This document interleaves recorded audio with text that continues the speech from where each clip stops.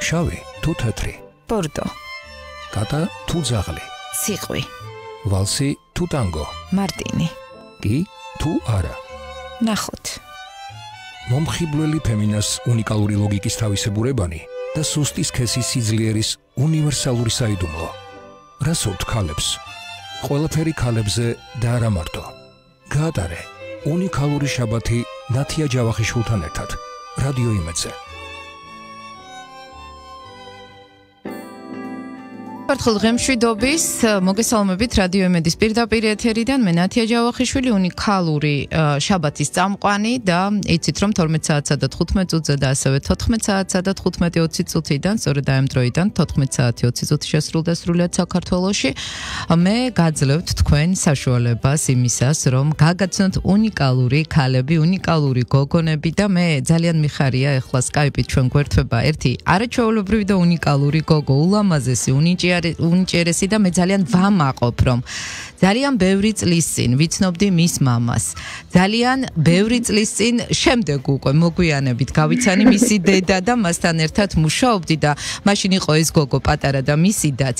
აა მაგრამ ფაქტიურად აი ჩვენს თვალწინ გაიზარდნენ ეს ბავშვები და მათი წარმატება მე ძალიან მიხარია და საერთოდ ზოგადად მე ძალიან მიხარია რომ ასეთი ნიჭიერი, ასეთი მიზან მიმართულად და მიზან სწრაფულად განვითარებული ბავშვები მოდიან დღეს, თუმცა ეს გოგო არ არის არის ძალიან პატარა და მიხარია რომ ჩვენს ქვეყანას ასახელებენ, მიხარია რომ ოჯახს ასახელებენ და მიხარია რომ უბრალოდ არიან წარმატებულები და რაც შეიძლება მეც აკეთებენ საკუთარი თავის განვითარებისთვის და ასე შემდეგ და ასე შემდეგ. ნინი გოგიჩაიშვილი. გოგიჩას და ნათია ბანძელაძის ქალიშვილი უმცროსი. ნინი გამარჯობა, ჩემო ძვირფასო, ძალიან მიხარია რომ მოახერხე ჩართვა. უღმესი მადლობა ესეთი წარდგენისთვის და ძალიან დიდი მადლობა რომ დაინტერესდით და რაღაცნაირად აი ესე შორიდან სკაიპიდაც მოვახერხე რომ გესაუბროთ და მომიწვიეთ. დიდი მადლობა თქვენი დაინტერესებისთვის და უღმესი მადლობა ესეთი წარდგენისთვის მართლა ძალიან ვაფასებ თქვენ თითოეულ სიტყვას. დიდი მადლობა რომ ასეთი კარგი შვილი ხარ. ასეთი კარგი შვილი ვარ თუ არა, მაგრამ ვცდილობ, იმიტომ რომ ჩემი მშობლები ნამდვილად იმსახურებენ, იმიტომ რომ მათი ცხოვრების ყველა წამს მომენტში ზრუნავდნენ იმაზე, რომ ჩემთვის და ნანუკასთვის აბსოლუტურად ყველაფერი მოეცათ შეძლებს და გვარად. მე განათლება, კარგი ბავშვობა, აბსოლუტურად ყველაფერი. მიუხედავად იმისა, რომ ჩვენ ეს წლებში დავიბადეთ მეც და ნანუკას, რომ ქვეყანაში ძალიან არეული სიტუაცია იყო და ძალიან რთული იყო, თუნდაც განათლების მიღება, იმიტომ რომ ამ ყოველთვის ფინანსები ჭირდებოდა. კი ბატონო, ნინი, შენ ხარ მილენიუმელი, ასე ვთქვათ, ეს თაობა ხარ ციფრული სამყაროს თაობა ხარ, მაგრამ ეს უბრალოდ ხა ერთგვარი რეპლიკის სახით, რეპლიკის სახით ვახსენე, თუმცა შენ საუბარი ზე დაიწყე, რაც მე ცოტა მერე უნდა მეკითხა და ცოტა სხვანაირად მინდოდა დაწყება, მაგრამ რახან დაიწყე, მოდი ასე განვაგრძობ და განვავრცობ ჩვენს დიალოგს. შენთვის არ ვამბობ და არ გულისხმობ იმას, რომ შენ ხარ ცნობა მზადი ადამიანების შვილი არა მხოლოდ მაგიტომ არ გეკითხები. ანუ ოჯახს ზოგადად ზოგადად ოჯახს. შენი აზრით რა მნიშვნელობა და დატვირთვა აქვს იმისთვის რომ აი შვილები შენი თაობის წარმომადგენლები ეს დიდები იქნებიან პატარები არ აქვს მნიშვნელობა რომ წარმატებისკენ მიმავალ გზაზე მართალია ალბათ სირთულეებითაც გამოირჩევა ხო ეს გზა. მაგრამ რამდენად მნიშვნელოვანია ოჯახი იმისთვის რომ შედგე როგორც გოგო ქალი შედგე როგორც პიროვნება ადამიანი და მიაღწიო ისე წარმატებას, რომელსაც შენ მე მგონი უკვე მიაღწია და ეს მიაღწია ძალიან מחარებს და კიდევ ბევრს გისურვებ, რა თქმა უნდა. მე მადლობა. მე ვფიქრობ, რომ ზოგადად ყველაფერი ოჯახიდან მოდის და იწყება. იმიტომ რომ ადამიანის ბავშვობას მის შემდეგ უკვე შეგნებულ ცხოვრებაში ძალიან დიდი მნიშვნელობა აქვს. თუნდაც ბავშვობაში მიღებულ ტრავმას. მე მთელი ჩემი ბავშვობის განმავლობაში ვუყურებდი, რომ დედა ჩემი ყოველთვის შრომობდა და ყოველთვის ცდილობდა, რომ შემდგარიყო როგორც პიროვნება, ყოფილიყო საუკეთესო დედა და ამავდროულად ყოფილიყო წარმატებული ქალი, რომელსაც ექნებოდა საკუთარი კარიერა და რომელიც იქნებოდა თუ თუნდაც მამაჩემისთვის ძალიან საინტერესო და აი იმ პერიოდში, იმიტომ რომ ეხლა ეს ყველაფერი ბევრად უფრო მარტივია, იმიტომ რომ დრო შეიცვალა და თვითონ სოფიოში ანუ ხალის როლი იზრდება და ყველა ეხმარება იმას იმაში რომ ხალი გაძლიერდეს. თუმცა იმ პერიოდში მამაჩემი აბსოლუტურად ყველანაირად უწყობდა დედაჩემს ხელს, ეხმარებოდა, იღვიძებდა დილით ადრე რომ ჩემთვის მომზადებინა საუზმე დავეტოვებინა სკოლაში, აკეთებდა ყველაფერს იმისთვის, რომ ნაციას ქონოდა კარიერა. და რა თქმა უნდა ამ ყველაფერში ბებოების და ბაბუების უდიდესი წვლილი არის, იმიტომ რომ აბსოლუტურად ოჯახში ყველა ეხმარებოდა ერთმანეთს, რომ მათ ქონოდა კარიერა და ყოფილიყვნენ წარმატებულები, იმიტომ რომ კარიერა. ძალიან მნიშვნელოვანი არის ნებისმიერი ადამიანის ცხოვრებაში, იმიტომ რომ ნებისმიერ ადამიანს უნდა ქონდეს რაღაც რაც უყვარს და უნდა იყოს დაკავებული რაღაცით, იმიტომ რომ თუნდაც შენი მეორე ნახევრისთვის ბევრად უფრო საინტერესო ხარ, როდესაც დღის ბოლოს, როდესაც მოდიხარ და ხვდებით ერთმანეთს, ორივეს გაქვს რაღაც გასაცვლელი ინფორმაცია და ორივეს გაქვს რაღაც თემა, რომელზეც საუბრობ. ჩემთვის ოჯახი არის აბსოლუტურად ყველაფერი და ჩემი ნებისმიერი წარმატება, რასაც დღეს მივახციე და დღეს მაქვს, ეს ყველაფერი არის იქიდან გამომდინარე, რომ ვიზრდებოდი ჩემ ოჯახში და ჩემ ოჯახი აბსოლუტურად ყველაფერს აკეთებდა იმისთვის, რომ მე მქონოდა იდეალური ბავშვობა და ideალურ ბავშვობაში არ გულისხმობ, იმიტომ რომ იმ პერიოდში საქართველოში ძალიან დიდი გაჭირობა იყო, მე როცა დავიბადე მით უმეტეს მას პერიოდში, ჩემ მშობლებს ძალიან ბევრი თვეების განმავლობაში ხელფასი წიარები წდებოდა და ეს რა თქმა უნდა არავის არ უყურს, იმიტომ რომ იმ პერიოდში ყველა ესე იყო, თუმცა მიუხედავად ამისა, ისინი ახერხებდნენ იმას, რომ მქონოდა იდეალური სავსე ბავშვობა, იმიტომ რომ ჩემი ჯერ იყო იმედენა და არის დიდი სიყვარული, იმედენა ყველას მიყვარს ერთმანეთს ეს მგონია რომ მე მგონი ჩაწკიდებას რომ შეუძლებელი შეუძლებელი იყო რომ აი ესეც სიყვარულში როდესაც ისწრები და ესეც სიტყვაში როდესაც ხარ, ანუ შეუძლებელია რომ შემდეგ რაღაცა ეს დიდი ენერგია არ მიმართოს შენ საქმეში და რაღაცნაირად დანაშაულიც კი არის რომ რაღაცას არ მიახსოვს მგონია.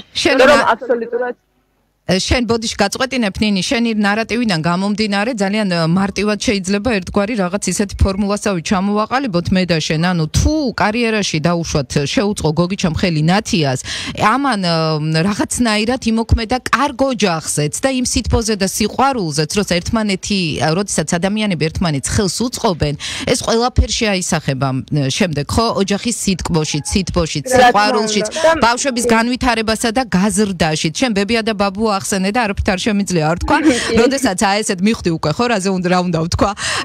როდესაც ასეთი სიტბო სიყვარული იღურება ოჯახში და როდესაც ამ ყველაფერს კარგია რომ აფასებთ შენ და ნანუკა ამას, კარგია რომ არსებობს ამის შესაძლებლობაც რომ შენ ეს უკვე სხვანაირად დაუფასე და როგორც ვიცი, რამდენიმე წლის წინ ხო შენ ბებიას გაუკეთე საჩუქარი და ის პარიზშიც აღმოჩნდა ბაბუასთან ერთად. აი რამდენიმე თვის წინ კი კი რა თქმა უნდა ბებოს ძალიან დიდი ოცნება იყო ძალიან უნდა რომ პარიზი მოინახულებინა იმიტომ რომ ძალიან უყვარს თვითონ მსახიობი არის ალბათ მოგახსენება ძალიან უყვარს ფრანგული კინო უყვარს ფრანგული მწერლები. ანუ ეს კულტურა მასთან ძალიან ახლოს არის და ძალიან უყვარს და რაღაცნაირად ხო რა თქმა უნდა მისი სურვილი და ოცნებასავით იყო და როგორც გამიშტები შესაძლებლობა რომ ბებო და ბაბუ წამეყვანა პარიზში და პატივი მეცა მათთვის და მეჩქებინა რაღაცნაირად გადასნური დღეები რომლებსაც გაიხსენებდნენ ეგრევე. ესე იგი აგაუშვი შანსი ხელი და როგორც კი საშუალება იყო კი ბებო იყო ასევე ნიუშის იყო პარიზში ბებო და ბაბუ ორივე ერთად იყვნენ და ჩემი მეორე ბებო ბაბუ ბამხრივ ესე არ ჩანან ხოლმე და არ მინდა რომ მათ ეს ვისაუბროთ რომ ჩემ ანუ დედის მხრიდან სამწუხაროდ ბებო კარგად არის ყველაფერი უბრალოდ ის დატანილი არის და ცოტა სიარული უჭირს და ამის გამო ასე ვთქვათ ამ გეგმაში მოხსენიებული ვერ იყო სამწუხაროდ ვერ შევძელი რომ მითინით წამოსულიყო რაღაცაა ჯანმრთელობის პრობლემების გამო ხო და მოვიკითხავ ახლა მე ძალიან დიდი სიყვარულით მეორებებია რადიო იმედი სტუდიიდან. ისე ნინი ჩვენ ახლა ერთგვარად აგვერია დრამატურგია ჩემი ეთერის სცენარის. და მე თამამად ახლა მთავარ სათქმელს მიუბრუნდეთ ჩემი სცენარის მიხედვით რაც მქონდა დაალაგებული მაგრამ მე მინდა გითხრა რომ ძალიან კარგად ამართლებ შენს პროფესიას და იმას რასაც საქმიანობ ახლა და მე მინდა აღვნიშნო სანამ შენ გააგრძელებ ჩემთან საუბარს და ცოტა ისე უნდა ვისა ვისაუბროთ რომ მე ნათია მელოდება დედა რომელიც უნდა ჩავთო სატელეფონო ხაზით ნათი არის თბილისში მაგრამ ნინი არის დუბაიში და იქ მოღვაწეობს. მოდი ძალიან მოკლედ შეეცადე მომიყვე როგორ აღმოჩნდი დუბაიში რასაკეთებ და რა გეგმები. გაქვს და დავასრულებ შენთან დიალოგს. კი ბატონო. ჩემი დროის ყოველდღიური ნაწილს ესახება ხარ ვატარებ დუბაიში როგორც მოგახსენებათ ჩემი პირველი გადაცემის სეზონი შედგა დუბაიში ასევე ჩემი პილოტი შეწერა შედგა დუბაიში, იმიტომ რომ ჩემი გადაცემა არის თამაგონებელ ადამიანებზე და შენობებზე და ისე გადავწყვიტე ჩემ გუნდთან ერთად რომ ეს ადგილი ყოფილიყო დუბაიში და ფერმა ფერმა ფერმა მიზეზმა განაპირობა, იმიტომ რომ სხვათა შორის COVID პანდემიის დროს დუბაი იყო ერთ-ერთი ადგილი, სადაც ყველაზე ყველაზე ეფექტურად მართავდნენ იმას, რომ აი ეს უნდა მეკითხა რა მდგომარეობა არის მეთქი დუბაიში ამ ხრივ თქო და აი მიპასუხე კიდეც. დუბაი იყო ერთ-ერთი პირველი ადგილი, სადაც მოხდა 100% ადამიანების ვაქცინირება ორივე დოზით. და ასევე დაიწყეს ბუსტერით ადამიანების აცაც და შეიმშავეს ისეთი გეგმა, რომ ისინი არ დახურავდნენ აბსოლუტურად ყველა რესტორანს და გასართობ ადგილს, ასე ვთქვათ, მაგრამ იქნებოდა მაქსიმალურად დაცული წესები, მაგალითად, პირველად ბერასტროს და ბერსად ვერ მოიხსნიდი, ხელების დამუშავება შეიმშავეს სპეციალური სისტემა, რომ შენ არ შეეხებოდი ვთქვათ მენიუს და ამან განაპირობა ის რომ ძალიან ბევრი ადამიანი ჩამოდიოდა დუბაიში იმიტომ რომ ისინი თვლიდნენ რომ ბევრად უფრო დასრულები იქნებოდნენ ასე ვთქვათ კოვიდ პანდემიის დროს ამ ყველაფერმა ძალიან კარგად მიმოქმედა ჩემ გადაცემაზე, იმიტომ რომ ძალიან ბევრ ისეთ ადამიანს შევხვდი და მოვახერხე მათთან ინტერვიუ ჩაწერა, რომელიც თუნდაც ევროპის სხვა ქვეყანაში არ შემხდებოდა. ეს არის გადაცემა უკრაინული არქისტვის, ხო? როგორც მე ვიცი. ეს არის გადაცემა, რომელიც გადის HD Fashion-ზე, ჩემ გადაცემა გადის ორ შაბათს და ორ შაბათიდან კვირის ანუ ხუთი დღის განმავლობაში ექვსჯერ იმეორება ხოლმე სხვადასხვა დროს, იმიტომ რომ ამას ჩვენი ამ მის საშუალებას ვაძლევს ჩვენი ფორმატი და ძალიან მიხარია და რა თქმა უნდა ჩემს სტუმრებსაც ჩემ გადაცემის სტუმრებსაც ძალიან ახარებთ იმიტომ რომ როდესაც ინტერვიუს მაგდავ ინიციან რომ მათ ინტერვიუ გავა ხუთჯერ და გაიმეორებენ ექვსჯერ. ისე მე ძალიან უხარია თქმა, თუმცა ჩვენ არ უჩერდებით მხოლოდ იმაზე, რომ ჩემი გადაცემა გადიოდეს HD Fashion-ზე, უნივერსალურ არხზე. აა ვაწარმოებთ მოლაპარაკებებს ასევე სხვადასხვა პლატფორმებთან, იმიტომ რომ მოგეხსენებათ, რომ ეხლა რა თქმა უნდა ტელევიზიას უდიდესი ძალა აქვს, მაგრამ ასევე აქვს უდიდესი ძალა ინტერნეტს, ყველაფერი მიდის იქიდან, რომ ადამიანები ყველაფერს ნახულობენ YouTube-ზე და სხვადასხვა კი ბატონო კი ბატონო სოციალური ქსელებიც იძლევა საშუალებას. ამიტომ ვაწარმოებთ მოლაპარაკებებს რომ ეს არ იყოს მხოლოდ HD fashion-ზე და გქონდეს ტრანსლაციის უფლება ასევე სხვადასხვა არხებზეც. ეხლა მუშაობ მეორე სეზონზე. აა გადაცემის სახელია ვთქვათ ნინი გადაცემის სახელი არის ნინის დაირი, ნინის დღიური. კი ბატონო, რომელსაც თავის ისტორია აქვს და თვითონ შემოგთავაზეს სახელწოდება და შენ დაეთანხმე. ხელებისაც ხონდა, სხვა შორის მე ძალიან מחარებს ის ფაქტი, რომ მე აბსოლუტურად 100%-ით ვიყავი ჩართული იმაში, რომ ჩემი გადაცემისთვის მიგვეცა სახე, იმიტომ რომ ჩვენ ვფიქრობდით როგორ გაგვეკეთებინა, რა იქნებოდა უფრო უკეთესი, რა იქნებოდა საინტერესო რა არის ისეთი რამ, რაც ასე ვთქვათ, ბაზარზე ჯერჯერობით არ არის. ჩვენი მთავარი მიზანი იყო რომ ეს არ ყოფილიყო ყვითელი გადაცემა, ეს ყოფილიყო რაღაც რაც მოგვიყვებოდა საინტერესო ადამიანებზე და არ იყო აუცილებელი ეს ადამიანები ყოფილიყვნენ, ასე ვთქვათ, ძალიან ცნობილი სახეები, იმიტომ რომ ჩემი მიზანია რომ ნებისმიერი ადამიანი რომლისთანაც მე ავიღე ინტერვიუ, ისინი არიან წარმატებულები საკუთარ სფეროში. და ძირითადად ეს არის ბიზნესის სფერო. და მე მინდოდა გამეკეთებინა რაღაც ისეთი, რაც ადამიანებს მიცემდა საშუალებას, რომ აი შენ უყურებ ჩემ გადაცემას, რომელიც არის 13 წუთი. და როდესაც დაასრულე ჩემი გადაცემისყურება, მინდა რომ აი мотивация აგიმაღდეს, იყო ისეთ განწყობაზე, რომ აი დღეს ეს იდეა მომივიდა და მინდოდა რაღაც გამეკეთებინა, მაგრამ ვიმითხრეს რომ არ გამოგივა, არა, პირიქით გამოგივა სადე რაღაც გაიგე წარმატების ფორმულა და რაც შეფიქრებული გაქვს, ყველაფერი გამოგივა. ჩვენი მთავარი მიზანი არის რომ ადამიანებს მივცეთ мотивация და ვანახოთ ბევრი ადამიანის სხვადასხვა მაგალითი, როგორ შეიძლება რომ იყო წარმატებული და რაღაცას მიაღწიოს შენს კარიერაში თუ ცხოვრებაში. ეს იყო გადაცემის თავარი თავარი არსი და ამოსავალი და მიზანი. კი ბატონო, მოკლედ ჩემთვის ორშაბათი მძიმე დღე ნამდვილად არ არის, რატომ იცი? საერთოდ ხომ ამბობენ რომ ორშაბათი მძიმე დღეა და ნუ დატვირთულია და შენ გადაცემა გადის, მაგრამ მე ვიცი შენ იმდენად როგორ თქვა, აი ცოტა ის ჟარგონი მინდა ვიხმარო და ვცდილობ რომ არ ვიხმარო იმდენად სიამოვნებას, მოდი პირდაპირ ვიტყვი უბრალოდ სიტყვას, იღებ აი ამ გადაღებების პროცესიდან, აი ამ ხალხთან ურთიერთობისგან, რომ შენთვის ორშაბათი კი არა, საერთოდ დამღლელი დამღლელი კვირა არასებობს და დამღლელი დღე. როგორც მე ვხვდები. აა თქვი ნინი? რაღაც თქმა გინდოდა. ნამდვილად სადაღნიშნოს, იმიტომ რომ მე იმდენად მადლიერი ვარ ყველაფრისაც ჩემ ცხოვრებაში ხდება ეს ყველაფერი ისე არ მოსულა ძალიან ბევრი წლების განმავლობაში. შრომობდი და მივდიოდი ამ მიზნისკენ და ეხლა როცა უკვე იმ ეტაპზე ვარ რომ ეს მიზანი ჩემს ხელშია და მე უნდა გავაკეთო ყველაფერი იმისთვის რომ უფრო დიდ მასშტაბებზე გავიდე და ამისთვის მართლა ყველაფერი მიწყობს ხელს იმიტომ რომ შრომა არ მეზარება და ძალიან მიყვარს რომ აი ხანდახან ესე შერდები ხოლმე და აი უბრალოდ ხმებს მადლობას ვეუბნები იმ ყველაფრისთვის რაც ეხლა ხდება ჩემს ცხოვრებაში იმიტომ რომ ეს იყო ჩემი დიდი მიზანი და ჩემი დიდი ოცნება რომ მქონოდა ჩემი გადაცემა და მე მუშაობა ტელევიზიაში, იმიტომ რომ 17 წლის ასაკიდან მუშაობ ასე ვთქვათ ტელევიზიაში, როდესაც უნივერსიტეტში ვსწავლობდი, მაგრამ მინდოდა რომ რაღაც უფრო მეტი გამეკეთებინა და ისე მიხარია რომ რა თქმა უნდა არ ვიღლები არასდროს. ნინი, ინსტაგრამი თუ ფეისბუქი, ტიკტოკერი თუ ხარ, თუ ასწრებ? და თუ მოგწონს, უცებ მოკლედ. იცი რა არის, ტიკტოკერი არ ვარ, არ მაქვს, მაგრამ მომწონს, იმიტომ რომ ძალიან ბევრი ადამიანს ეს არის, იმიტომ რომ ყველა თაობას რაღაცა დამახასიათებელი სიახლე მოსდევს, რაღაცა ახალი.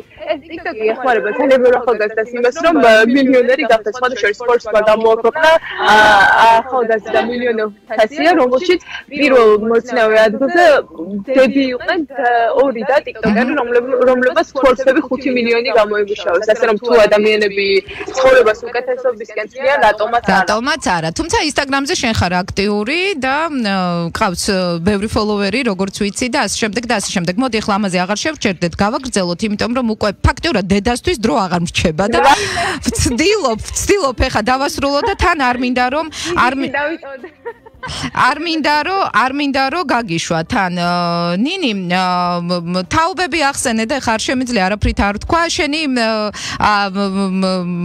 შენ საქმიანობაზე ის რომ ცოტა შორს ხარ და მოშორებით ხარ დედა რას ამბობს და შენ წარმატებაზე როგორ ფიქრობ? გოგიჩა რა სიტყვა და ძალიან მოკლედ შეეცადე რომ მიპასუხე ხო კარგი გოგიჩა ესე იგი იყო პირველი ადამიანი რომელიც ჩემი ნებისმიერი ეთერის საკონტროლოს გამოცდის თუ არ ვიცი ნებისმიერი მოვლენის შემდეგ პირველი ზარი და პირველი შეტყობინება ყოველთვის გოგიჩასგან იყო ყოველთვის. მე ის რომ დღეს რაღაცას ვაკეთებ ბიღიმი და ცხოვრებას ვაგრძელებ იმიტომ რომ მამაშემი აბსოლუტურად ყველაფერი არის შემთვის და ან სიგიჟემდე მიყვარს არის იმის გამო რომ უნდოდა რომ ყოფილიყავი წარმატებული ადამიანი უნდოდა რომ ქონოდა ჩემი საქმე უნდოდა რომ ქონოდა ჩემი კარიერა და ყოფილიყავი შემდგარი როგორც იყო თვითონ ის და როგორიც არის დედა ჩემი რომელიც არის აბსოლუტურად სუპერ გმირი ეხმარება უამრავ ადამიანს შრომობს ისე რომ არ ვიცი ადამიანი 2 წლის განმავლობაში ერთი დღე არ დაუსვენია შრომობს მორალურად, ფიზიკურად, აბსოლუტურად ყველანაირად და ნუ როდესაც ესეთი მშობლები ყავს, რა თქმა უნდა, არ გაქვს არანაირი იმის მიზეზი, რომ ცხოვრება არ გააგრძელო და უფრო მეტი არ გააკეთო, იმიტომ რომ მე მინდა რომ კიდევ იმდენი შემეძლოს, რომ დედა ჩემს მივცე ის ყველაფერი, რასაც ის იმსახურებს და კონდეს ისეთი ცხოვრება, რომელსაც ის იმსახურებს, რომ ანუ დავასვენო, გამოგზაურო და ავუსრულო აბსოლუტურად ყველა ოცნება, რაც კი შეიძლება კონდეს. კიდე კაი არსებობს ინტერნეტი და თქვენ ალბათ ვიდეო კოლებით თითქმის ყოველ დღე საუბრობთ ერთმანეთთან, ხო ნინი? სხვადასხვა მიუხედავად იმისა, რომ მე მეკუთვნები იმ თაობას, რომელიც აი რაღაცნაირად ტელეფონებთან ახლოს არის, მე მაქვს არ მიყვარს ვიდეოთი დარეკვა, აი იმდენად არ მიყვარს. ხო, სხვა შორს მეც არ გამოვირჩევია. აჰა. ადამიანს, აი ეს ბევრს არის ის ხომ სხვა შორს, იმიტომ რომ ბევრს ვჩვენია რომ აი დარეკო, მოიკითხო, აი მე ოღონდ მირჩევნია რომ ვოკალური მესიჯი გავგზავნო ვიდრე დავრეკო. კი ბატონო. ყველაფერი წერის. აი რამდენად ნორმალურია მაგრამ მე და ნანუკა ეს ეგეთები ვარ. აა ჩემი ჯახი შეჩეულია ნინი მე ფაქტიურად მრჩება რამდენიმე წუთი შენსაც სასაუბროთ და ეს წუთები უკვე ნათიას წუთებია. მე რამენაირად შევეცდები რაღაცა მოვიფიქრო შენთან საუბრის მერე. მამიტომ მოდი ახლა ამოისუნთქე ჯერჯერობით ჩემთან ხარ 1-3 წუთი და დაგისვავ შემდეგ შეკითხვას აი ახლა ესეთი დატვირთული გრაფიკი გაქვს ხო? ხარ დუბაში არ გაგიჭირდა უცხო ქვეყანაში მაინც ყოფნა ეს ესეც მოკლედ მითხარი? იცით რა არის? არ გამიჯერდა, იმიტომ რომ ფსიქოლოგიურად ძალიან მომშვიდებს ის ფაქტი, რომ აბსოლუტურად ყოველდღე არის ფრენა თბილისის მიმართულებით პირდაპირ და ისი არის დღეს. და ჩამოდი ხარ? გვაქვს გვაქვს ერთი და იგივე ჩამოდივარ ხოლმე, კი, ჩამოდივარ ხოლმე თბილისში, ძირთადად 4-5 დღე მიწევს ხოლმე, ხშირად არა, უფრო ხშირად. ე უფრო მინდა რომ ჩემი მშობლები ჩემთან ჩამოვიყვანო ხოლმე. მაგრამ რა თქმა უნდა, თბილისი ძალიან მიყვარს ჩემი ჩემი სამშობლო არის ფიჟდები საქართველოსზე და ჩამოდივარ უბრალოდ ამ პერიოდში.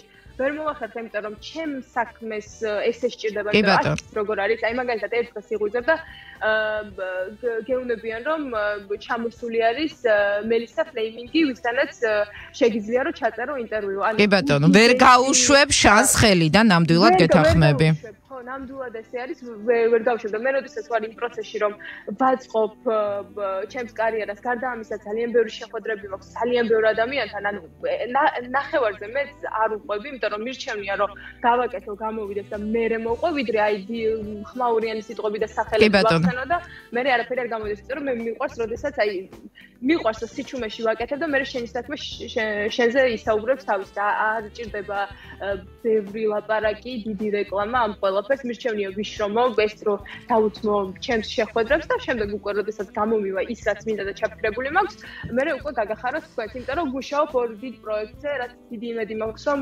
გამომივა და მოდი ჯერ ნუიტყვი, ხო? ჯერ ნუიტყვი და ეს მოდი ექსკლუზივი ჩემთან იყოს, მაგრამ ჯერ ნუიტყვი. აა კი ბატონო, მაშინ მოდი ახლა ერთ კითხვას დაგისვამ იმას, რაც ნათიასთვის უნდა დამესვა. აი ზოგადად ხომ არის თაობები და ღირებულებები, ხო? წეგან შენც ახსენე, მეც ვახსენე, მაინტერესებს არის რამე ისეთი, რასთან მიმართებაშიც კონფლიქტში მოსულ ხართ შენ და ნათია დავუშვათ და რაღაცა ვერ გაგიყვიათ ასე ვთქვათ, ანუ ეს გაყოფა ცოტა ისეთ გადატანითი მნიშვნელობით, ცხადი, ანუ რა შეიძლება უფრო მოსწონდეს და რა შეიძლება უფრო არ მოსწონდეს ნათიას? აა ნინიში მოდი ასე გეტყვი. ნაცია მიეკუთვნება იმ დედების რიცხვს, რომლებიც ის არის არიან ჯანსაღად კრიტიკულები. კი ბატონო.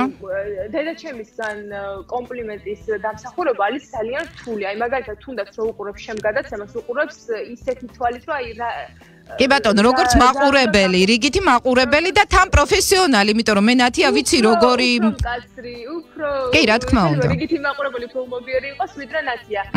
მე და ნათია სხვათა შორის გვაქვს ხოლმე პატარ-პატარა გაუგებრობები, მაგრამ ეს ნორმალურია, იმიტომ რომ როდესაც რაღაცას ხმნი, შენ თუ არ გაქვს გაუგებრობა შემოქმედებით პროცესში გულისხმობ, იმიტომ რომ პირად პირადად როგორც დედაშვილი, რა თქმა უნდა, იდეალური ურთიერთობა გვაქვს, მაგრამ შემოქმედებაში ხო, ჩვენ გვაქვს რაღაც კომპიტების მიზი არის მასწავლის თავის ხედავს. მე თავიდან ვფიქრობ, რომ არა ვიცი, მაგრამ ყოველთვის, აი ცხოვრებამ რაც მასწავლა, ეს არის, რომ როდესაც რაც არ უნდა მithქვას დათიამ დედაჩემა ყოველთვის მართალია და ყოველთვის კი ბატონო ითვალისწინებ მის რჩევას იმიტომ რომ აქვს დიდი გამოცდილება თავისათვის უდიდესი პროფესიონალი არის. კი, გეთანხმები, ვიცი. აჰა. ხეთი არის.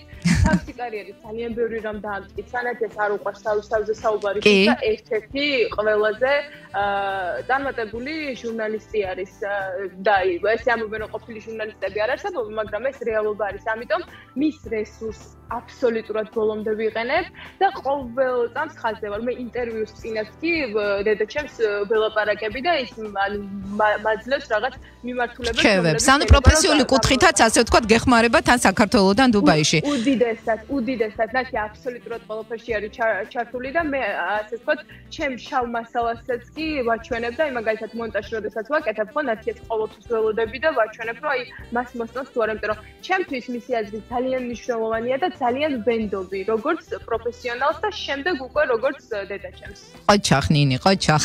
ძალიან კარგი გოგო ხარ და ბოლო შეკითხვა აი ამ ქაოტური დღეების შემდეგ, რაც რა თქმა უნდა სიამოვნებას განიჭებს, რამდენად ასეთი ლამაზი ხარ, ასეთი მომხიბვლელი ხარ, ასეთ ფორმაში ხარ.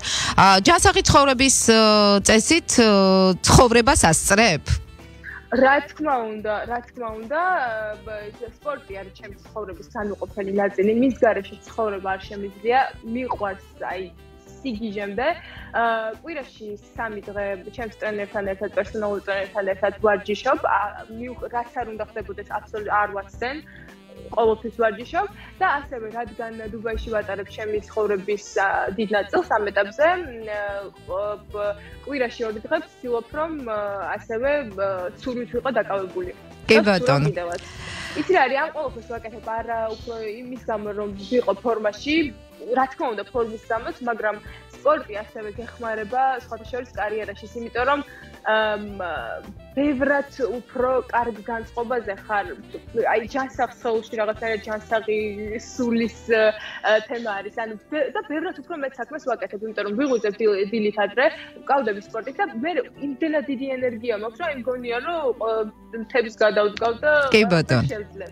კი ბატონო. ნინი და გადაცემის და ეთერის ბოლოს რას ურჩევდი წარმატებისგან მიმავალ გზაზე დამდგარ გოგონებს, რომლებიც ანუ რომლებიც აი ახლა იდგავენ ნაბიჯებს აი ამ წარმატებისგან მიმავალ გზაზე. რა არის იმისთვის საჭირო რომ მათ მიაღწიონ წარმატებას? რა თქმა უნდა სირთულეები ყველა სფეროს ყველა პროფესიას ყველა საქმეს აქვს თავიდან. მაგრამ მაინც რა არის საჭირო? აი რაღაც სამი რამ შეგიძლია დამისახელო რაც შეიძლება დაეხმაროთ მათ განვითარებაში რა თქმა უნდა, პირველ რიგში მე ჩემი მხრიდანაც ყოველთვის ძალიან მიხარია ქალების წარმატება და ჩემ გადაცემაში ერთ-ერთი ეპიზოდი წარმატებულ ქალებსაც მივიყვანი სპეციალურად, იმიტომ რომ ძალიან როგორ მიხარია, როდესაც ისინი წარმატებულები არიან და მიუხედავად ბევრი სირთულის, ამიტომ რომ ქალებს ძალიან ბევრი სირთულეები აქვს ცხოვრებაში, შეიძლება უფრო მეტი, ვიდრე მამაკაცებს, მიხარია ხოლმე, როდესაც წარმატებას ახდავენ. პირველი რაც შემიძლია ვურჩიო ეს არის შრომა, იმიტომ რომ შრომის გარეშე არაფერი არ მოდის და შრომით აბსოლუტურად ყველაფერი მოდის. შეიძლება დღეს და ხვალ არა, მაგრამ თუ თქვენ იშრომებთ თქვენი ოცნებისთვის, აუცილებლად გაგიმართლებთ და აუცილებლად მიაღწევთ რაღაცას. პირველი არის შრომა. მეორე არის ეს საკუთარი თავის რწმენა, საკუთარი თავის რწმენა უნდა გქონდეს. ხანდახან ეს ძალიან რთულია, რომ რაღაც რწმენა ვიპოვოთ და როდესაც სირთულეებს ვეჯახებით, რთულია ჩვენ თავში ის ძალა აღმოვაჩინოთ, რომელიც ამ რწმენას დაგვიბრუნოს, მაგრამ ჯეროდეთ საკუთარი თავის აბსოლუტურად ყველაფერი შეგიძლიათ და მესამე რასაც დავამატებდი, ეს იქნება, რომ თქვენი თავის მიმართ იყოთ მობიერები და აპატიოთ, იმიტომ რომ ხშირად ჩვენ ჩვენ თავს ძალიან კაცრად ვუდგებით და თითქოს ვდგუნავთ. ანუ იყავით საკუთარი თავის მეგობარი და თუ თქვათ არ გიმართლებთ ან რაღაც არ გამოგდით, არ გაუბარაზდეთ საკუთარ თავს, ეს სიბრაზე გადააქციეთ თქვენ мотиваციას და გააკეთეთ ყველაფერი იმისთვის, რომ პატარა, მაგრამ რაღაც უკაცრავად ტელეფონმა დამირეკა. პატარა, მაგრამ რაღაც თქვენი ჰობი, საქმე თუ წარმატება გქონდეთ, ასე იქნებით საერთოდ საკუთარი თავისთვის და აბსოლუტურად ყველა ადამიანისთვის. ეს გახლდათ ნინი გოგიჩაიშვილის სამი ფორმულა იმისთვის, რომ გახდეთ წარმატებულები. მე შენ ახსენე, რომ წარმატებული ქალები, როდესაც მოდიან შენთან ძალიან გიხარია და ძალიან ბედნიერი ხარ და მე ხო ჩემს პირდაპირ ეთერში ვამბობ, რომ აი ეს წარმატებული გოგო, რომ ჩემს ეთერში პირდაპირ ეთერში დუბაიდან ასე ხარტად, ასე ლაკონურად, ასე კარგად მესაუბრა, ეს არის ჩემთვის ბედნიერება. ნინი, უღრმეს უღრმესი მადლობა შენ იმისთვის, რომ დრო გამონახე და ჩამერთე და ძალიან დიდი წარმატება მინდა გისურვო, უფრო მეტი და მე ამ სიახლეებს ხადია შევიტყობ და რაც შეიძლება ხშირად მოგიწევ ხოლმე, ასე Skype-ით იქნება თუ live-ში, ჩემთან პირდაპირ ეთერში. რომ ძალიან მიხარია და ვაფასებ რომ მართლა დაინტერესით მე რას ვაკეთებ? მართლა მთელი გულით ვაფასებ ამ ყოველფერს და იმასაც ვაფასებ რომ თქვენი დრო გამოყავით და დამისმეთ და მიხარია რასაც აკეთებთ და თქვენი ერთგული მაყურებელი ვარ და თქმა უნდა დიდი მადლობა. დიდი მადლობა. დიდი მადლობა შენც ამისთვის. ნინი გოგიჩაიშვილი ნათია ბანძელაძის ჟურნალისტის და გოგიჩას ქალიშვილი გვერდებოდა უმცროსი ქალიშვილი ნინი ნინიზე ბევრი რამის თქმა შეიძლება. ძალიან მრავლის მომცველი და მრავლის მეტყველი ბექგრაუნდიც აქვს მის საქართველო იყო მოკლედ მასტერშეფში იღებდა მონაწილეობას ძალიან ბევრ საქმეს აკეთებდა ძალიან ბევრ პროექტში იღებდა მონაწილეობას. ამის ნახვა თქვენისა და შეგიძლიათ მე უბრალოდ გეტყვით რომ დუბაიში იმყოფება ის და ახალ პროექტზე უკვე მუშაობს უკვე არის ეს ეთერში და თქვენ შეგიძლიათ ადევნოთ ნინის თუნდაც ინსტაგრამ გვერდს თვალყური. დროებით გემშვიდობებით შემდეგ საათში მე შევეცდები ნინის დედა ჩავრთო სატელეფონო ჩართვით პირდაპირ ეთერში შევეცდები. იმიტომ რომ ნინიმ წაიღო ნათიას დროც და თუ ვერ შევძელი მაშინ შევაჯამებ თქვენთან ერთად დღევანდელ ეთერს